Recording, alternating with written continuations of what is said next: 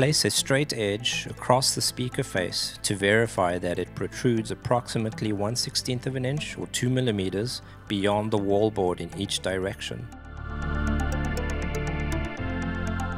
Check that the speaker is not warped. A warped speaker frame will cause the speaker face to bulge.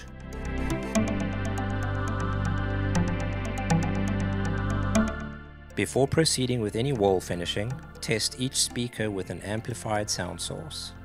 Test with music at listening volume. Make note of sound coming from high, mid, and low frequency drivers of each speaker. Check for any rattling or vibration in wall or ceiling. Now is the time to correct any potential issues.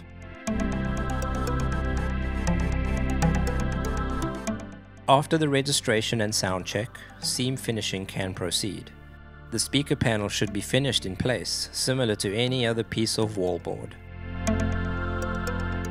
Self-adhesive nylon mesh tape is recommended due to its ease of use, however paper tape is also acceptable.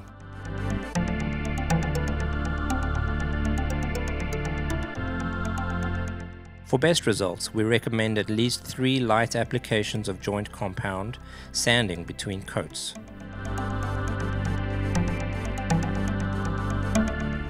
Use only air-dry joint compounds and plasters for seam finishing. Do not use chemically curing joint compound. Allow 24 hours between each application of joint compound for complete drying.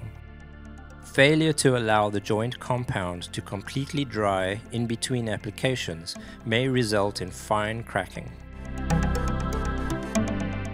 The joint compound should be spread beginning 2 to 3 inches or 50 to 75 millimeters in from the speaker edge and then feathering outwards 16 to 20 inches or 400 to 500 millimeters in order to achieve a smooth flat transition.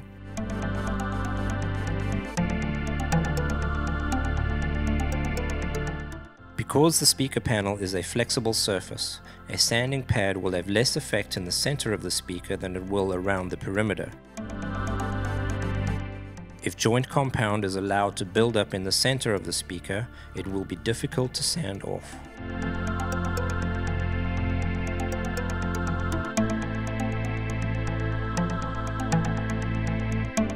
Because the face of the speaker is flexible, excessive pressure can deflect the speaker panel inward, quickly allowing a thick layer of material to build up, which will be difficult to sand off and adversely affect sound quality. Apply the joint compound around the perimeter of the speaker first, working carefully toward the center of the speaker as additional coats of compound are needed and applied. Be sure to feather the joint compound away from the speaker as to not build up more than a maximum allowed of 1 16th of an inch or 2 millimeters of joint compound over the face of the speaker panel.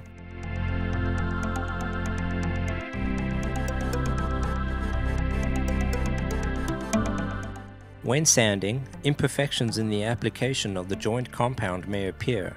If so, additional joint compound and sanding may be needed to create a seamless transition.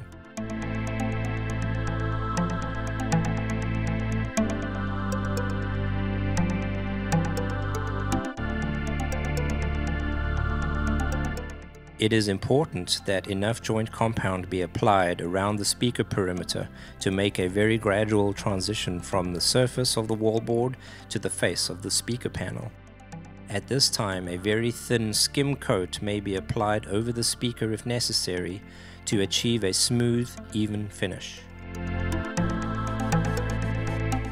Some advanced finishing techniques and materials, such as Venetian plaster or heavy plaster coats, may require skimming over the front of the speaker. In these situations, it may be necessary to shim the speaker proud of the surrounding wallboard to avoid buildup of more than a 16th of an inch or 2 millimeters in thickness on the face of the speaker. Use the gray color of the LineaResponse X series speakers as a visual reference to gauge joint compound coverage or depth. Be careful not to exceed 1 16th of an inch or 2 millimeters of buildup.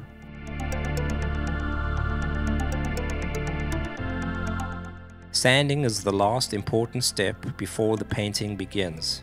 This can make or break the quality of the installation.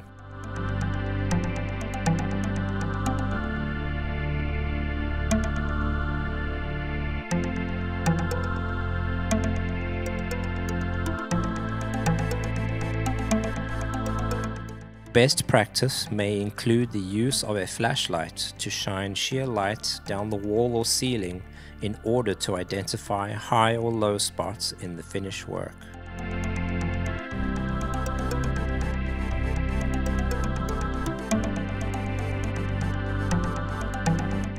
Once sanding is complete, the wall is ready for painting. It is recommended that all unfinished wallboard and speakers be first primed with latex-based primer sealer. Light orange peel texture, light knockdown texture, wallpaper, veneer or level 5 finish may be applied. Heavy knockdown or trowel finishes are not recommended.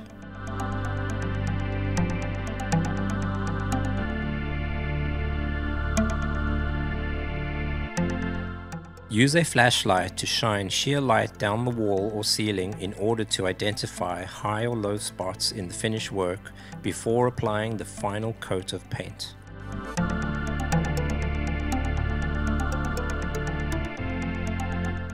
LineaResponse speakers are engineered for optimum audio performance with no more than 1 16th of an inch, 2 millimeters, of any material applied to the front surface. To exceed the 1 16th of an inch or 2 millimeter limitation will cause degradation of audio quality and may void warranty.